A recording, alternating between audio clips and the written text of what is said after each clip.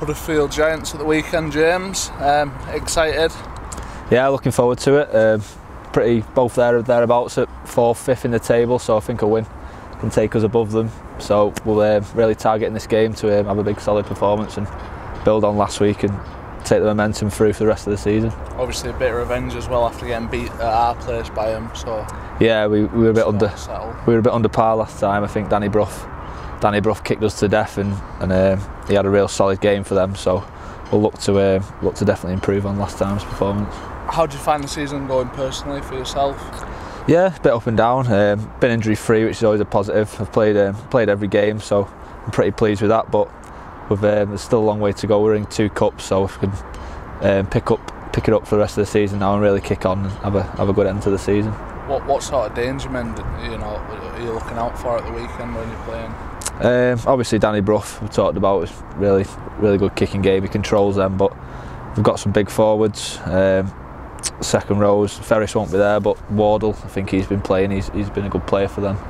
Um, Jack Hughes, he's I've played with him and against him. He's, he's a solid player.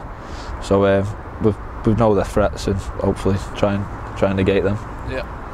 Um, obviously, the start of the year you you were playing and starting most games, weren't you? And recently you've been coming off the bench. Has that got anything to do with the fact that you've recently gone off the market and you've actually got a girlfriend? Uh, um, I'm not too sure. Uh, um, yeah, I have. You're going too soft now. You're all loved up. um, no, I don't think so. Um, Benny Westwood and Ben Currie have been in great form in the back row, so I'll just try and do what I can to get back in there. But yeah. yeah. uh, back on the obviously rugby side of things, um, you know, we played at Newcastle um, a week at two weeks ago. Obviously, St James's. You could have played there plenty of times if them Man City trials had gone your way.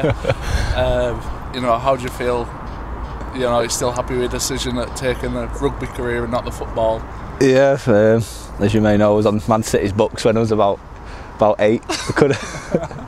Um, luckily, luckily for Joe Hart, I decided to um, take take rugby up instead. So I think um, I think if I'd have carried on, he might not have been there now. it was one of them training camps that your mum and dad had to pay for, is it? Yeah, it was things like I signed up at school and we went we went down and they said it was all right, but um, I never took them up. So all right. Well, on the back of that, do you fancy a challenge? Yeah, that's how we go. Penalty shoot. Well, let's see how good you are.